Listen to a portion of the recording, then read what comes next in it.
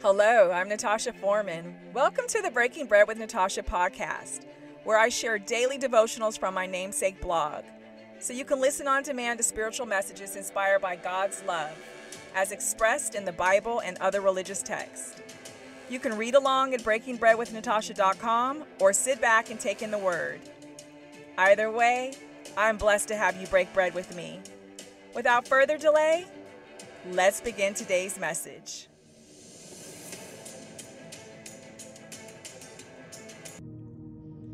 Well, hello there, Breaking Bread family. Thank you for joining me. This is Natasha Foreman, and it is an honor and privilege to be here with you today. Let's look at the book of Philippians, chapter 3, lines 13 and 14. And I'm going to, uh, translation I'm reading, I'm going to start where it says, One thing I do, forgetting what is behind and straining toward what is ahead. I press on toward the goal to win the prize for which God has called me heavenward in Christ Jesus. Mm. Do we not study history to see the timeline to present, learn from those lessons, not to repeat the harmful ways, and deviate when we're heading toward destruction? It seems that many of us look back and dwell on the past because it distracts us from the present and the choices we're trying to avoid or are too prideful to request help. We wrongly think that our lives would be better if only we somehow orchestrate the duplication of the past and the present to right the wrongs and avoid the consequences. Hmm. Years ago, my friend Kenya forwarded a message to me that said, Get past the past by choosing the right thoughts because God has victory and blessings in store for your future. And I add, that if you truly believe that God will never forsake you, never leave you, and never put more on you than you can handle, then you should always keep your eyes on the prize with images and sounds of victory flowing through your mind. It's like walk through the discomfort. we will always be faced with experiences and situations of discomfort as long as we walk this earth in these bodies. We won't live up to what we were created to be if we continue seeing ourselves as insignificantly human. Yes, we have limitations in this form, but we are not insignificant and inferior. Unlike animals and other create the creatures, we can create. All that we see in this modern world is by our design using God's power. Stop seeing yourself as small and worthless. It's what we do, how we respond, what we think, and what we say during moments of discomfort that we that it's going to either deliver us or push us farther into the depths of confusion. And when we choose to be confined by our humanity, we're tormented by the things we create to align with this world. And we begin yearning for the simple things and moments from the past, thinking greatness was confined to an era we no longer live in. I must pause from time to time and close my eyes as I pray for God to make things right and help me with solutions to issues that I created. Daily, I sit in silence, in reflection and meditation, tuning out the rest of the world and focusing on God and Jesus and what they expect of me. And then I ask for counsel, direction, and intervention. It's not your will, but it's His will that makes all things possible. You have a choice and can access his power, but you are not omniscient, omnipotent, omnibenevolent, and omnipresent. So you alone don't control this world and all within it. The world is his idea just as you are his idea. He gives you reign to create within his idea, to steward what he gives you, and to create ideas to address human issues that arise. But you don't control or dictate to Him. I must remind myself of this daily as the unexpected comes my way and I try to control things and expect God to fix them at my bequest on my time and terms.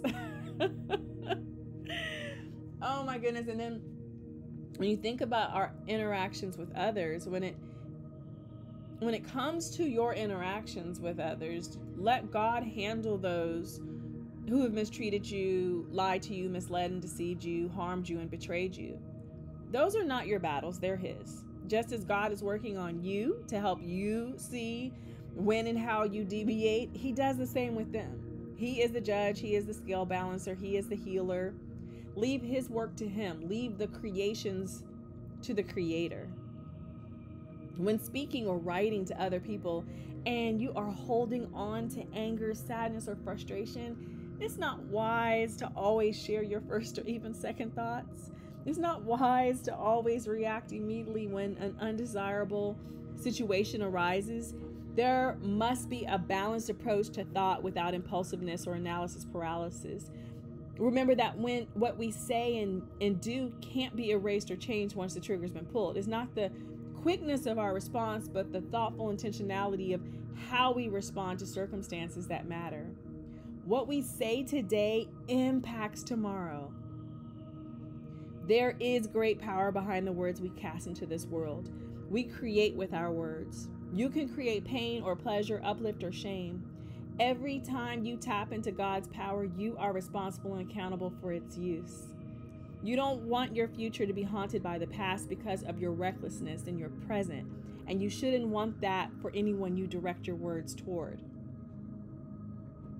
I also want to remind you what I'm constantly reminding myself. Number one, don't let fear control you. It is information, but it also tells lies when it contradicts what God says, and it only has the power you give it. So you actually have the authority to dismiss or diffuse it. Number two, don't let the past haunt you. It is gone, so why are you attempting to recreate it in the present? Number three, don't let someone else's negative image of you dictate how you see yourself. Their vision is limited by their perception and bias. How does God see you? That should be your point of focus.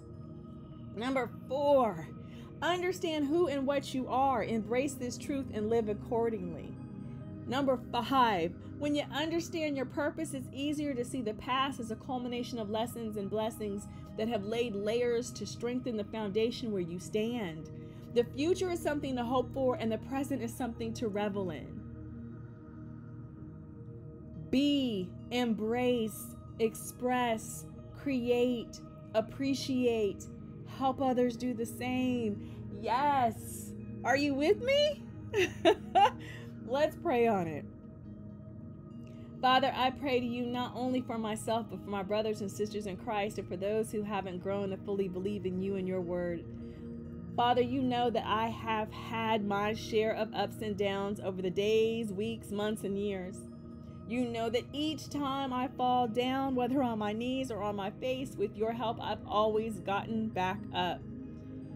Father, as I walk through the forest of fear, I have to remain focused on what is in front of me and not behind me. For every lie that fear tries to magnify, remind me that I can create truth through you speaking and then seeing it as you do.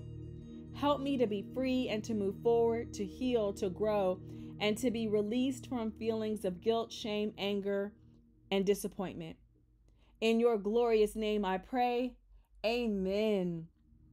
And with that, family, I pray that you are blessed, that you see and embrace your blessings, and that you are a blessing to others. I love you. Take care.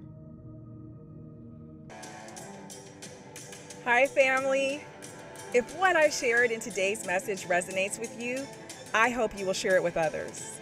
Feel free to leave positive comments and reviews on my site, breakingbreadwithnatasha.com, and through whichever podcast provider that you're listening to me. Each day, I work to be a better steward and servant. I hope you will join me in sharing God's love and truth and rebuking the enemy's lies. Now go out there and make today an awesome day. I love you all.